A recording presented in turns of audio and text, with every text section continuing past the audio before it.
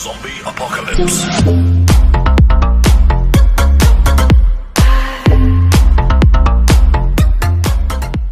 Hello guys and welcome back to my channel. My name's Calvin and please follow me on my journey of pipe welding today. In today's video, as you can see, I have some 16 inch elbows, two of them, and I'm joining them together with weld necks. And it's gonna be a bit of a nightmare piece to make because it's small. The pieces in between is gonna be maybe 80 mil, something like that. So it's gonna be a bit of a, a tough one to hold on the rollers to weld. But let's see how it goes. So follow me on this journey. So the equipment I'm going to be using today is going to be my Speedglas G501 um, welding mask with a respirator pack on my back. That's going to be um, giving me fresh air. So I'm going to be rooting this at around 150 amps root. It's a synergic root setting that the Fronius machine has. Maybe if I remember, I'll put in what your volts and wire speed is if you run it on manual. And the machine I'm going to be using is a Fronius TPS 400i. That's one of Fronius' latest machines. So the root, like I said, 150 amps. I'm going to be doing a hot pass at around 300 amps, and then my cap is going to be at I don't know 150 amps. It just depends. When I'm doing um, fitting on fitting with the weld neck and the elbow, then I'm to have to do a hot pass. But sometimes I can get away with not doing a hot pass. I'm going to try to include some arc shots if I can. If not, I, I don't know. It's a bit of a tough one, really, um, recording it. And this job is going to be welded to class 2 specifications, so there's no x-ray. It may go for an ultrasound depending on the percentage of work that needs to be um, tested. So before I start, hit the subscribe button if you like what you see. It's free. You can always unsubscribe later on. Forget the wire I'm using is a copper-free 1mm solid core wire, and I'm going to be using Argon Shield M24. I think that's 12% um, argon CO2 mix. But on the Fronius machine, I'm going to be using an M24 gas setting, which is 15 to 20% um, argon. I hope I've covered everything. Let's get started.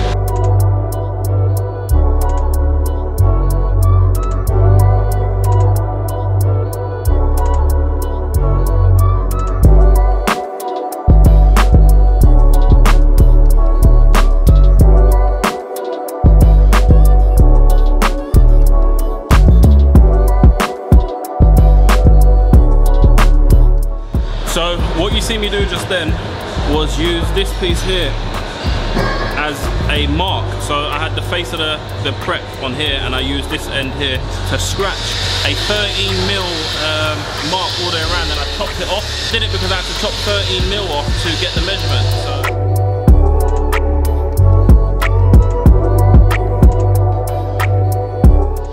I've made one of these already. It was just a, a, hockey stick and what I discovered doing it is the pipe alignment isn't good. For some reason these fittings here, certain ends is, crushed almost like an overall. So I'm happy to do the best I can to line up the inside of the pipe and the outside of the pipe suffers. So it's a bit of a it's a bit of a nightmare when you're trying to root it, but I'm trying to do the best I can.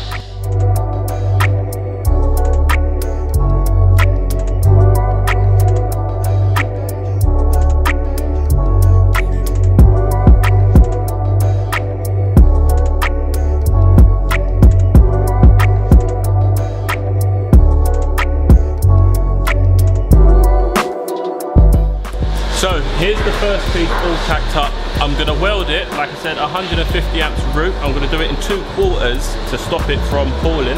And then I'm gonna cut out the tacks, just because where it's a weld neck, I want it to look nice, you know, so when you see the welds.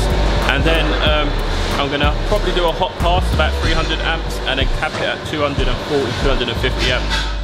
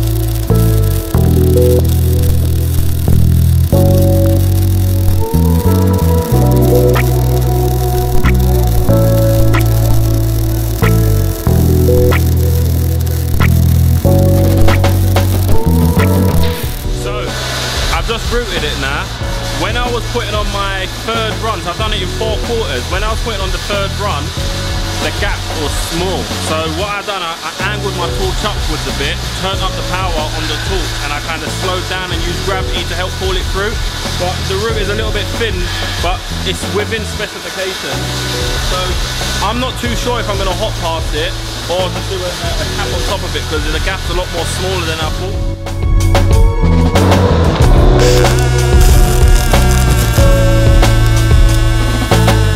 mind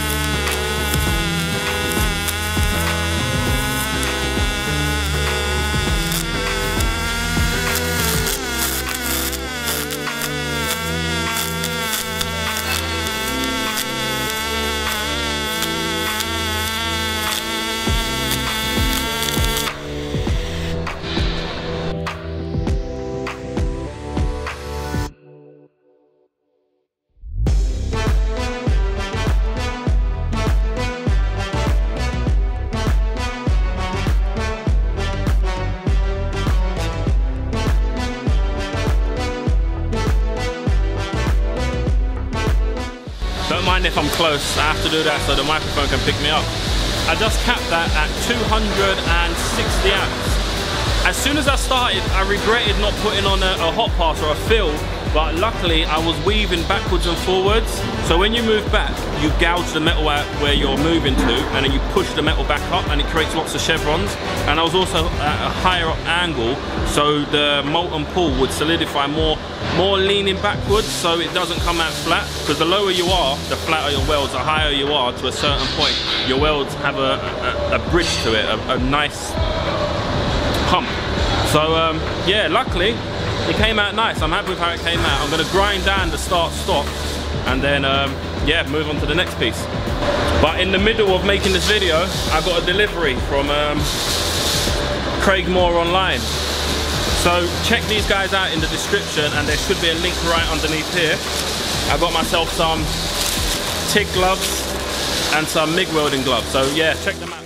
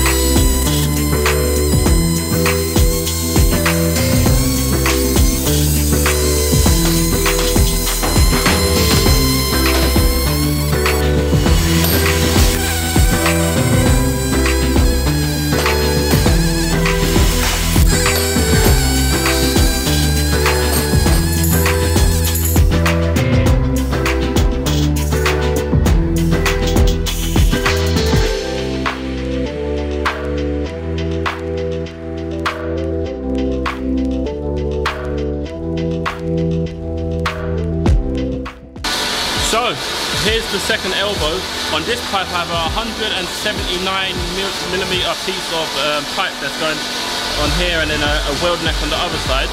So I'm going to quickly buzz that up, pack it together, weld it up, and then I'll get back to you Scott when I'm ready to pack the two of them together.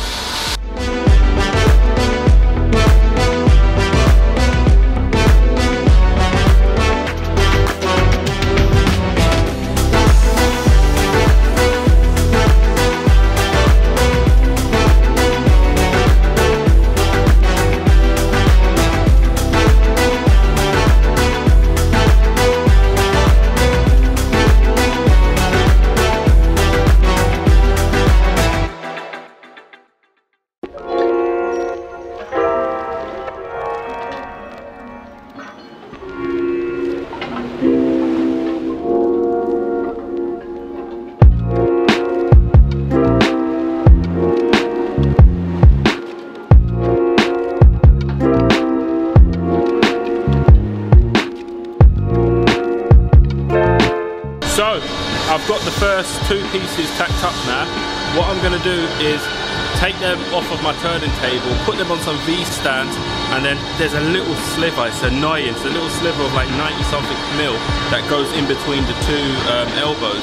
I was going to weld it on the elbow by itself, so my final tie-ins is only going to be one butt weld, so there's less chance of the two pieces pulling, but that's going to be too much effort, so I'm going to take the chance, I'm going to weld two um, sliver welds at once, and it shouldn't pull, it's big pipe, but I, I tend to not do that.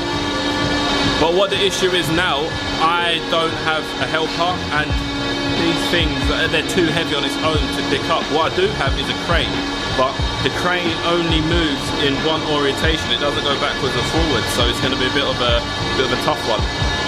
See, times like that, I wish I had um, V-stands with wheels underneath it, because then my crane could only pick it up at one spot, and like you saw, I had to push it, which is, is too heavy to really push. It's very easy to hurt your back trying to twist like that. So if I had um, V-stands with wheels on it, I could just plopped it there, and I could have driven it in. It would have saved me so much time and possibly injury.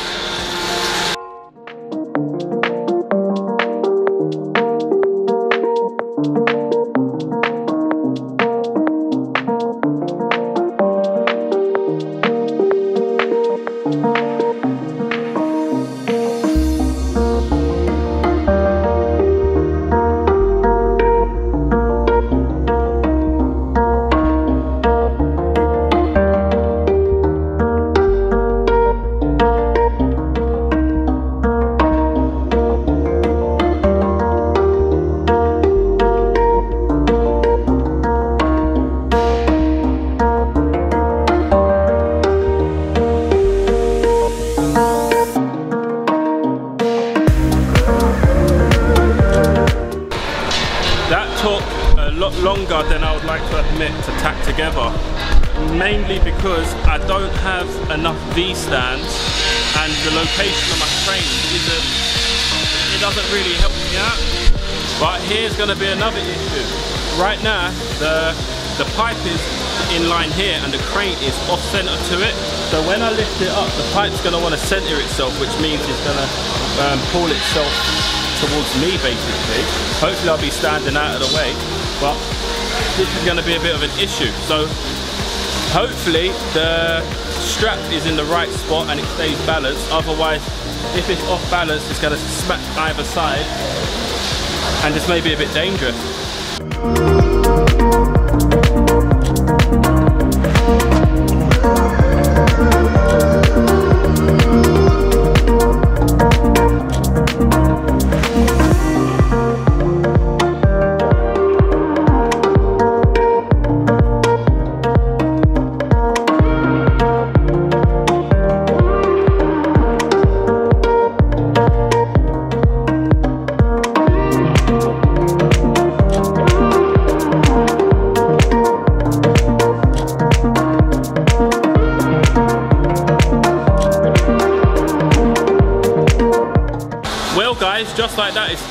I'm going to leave you lot with me welding it together and I'll show you lot the end results of how it looks.